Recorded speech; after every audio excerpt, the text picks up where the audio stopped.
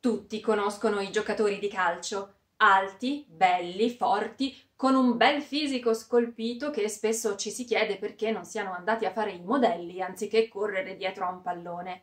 Quando però entri in campo e davanti alla porta, invece di trovare un omone alto due metri, trovi lui, piccolo, magro, con uno sguardo da scoiattolo sperduto che vorresti corrergli incontro e salvarlo dal predatore, rimani sgomento.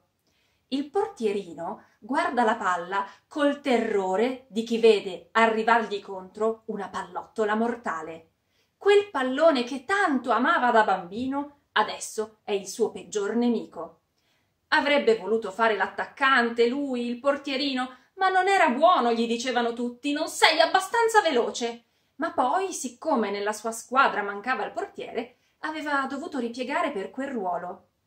La paura che prova a ogni partita l'estremo difensore ricorda vagamente il terrore dell'alunno impreparato a un'interrogazione a sorpresa.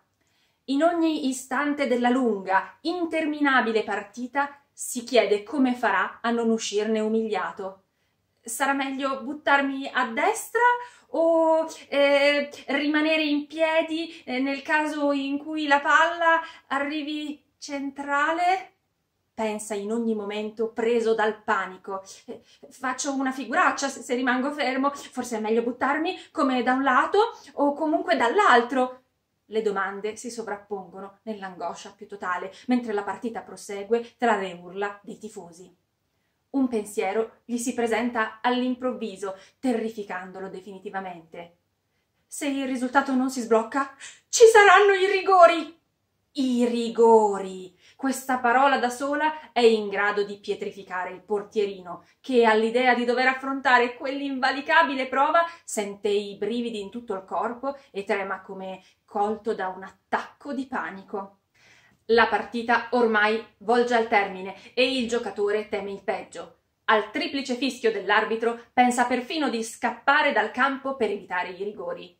Ma quando un suo compagno gli corre incontro esultante, capisce che hanno vinto. Il portierino a stento trattiene le lacrime di gioia, non per aver vinto, ma per aver evitato la figuraccia del gol subito.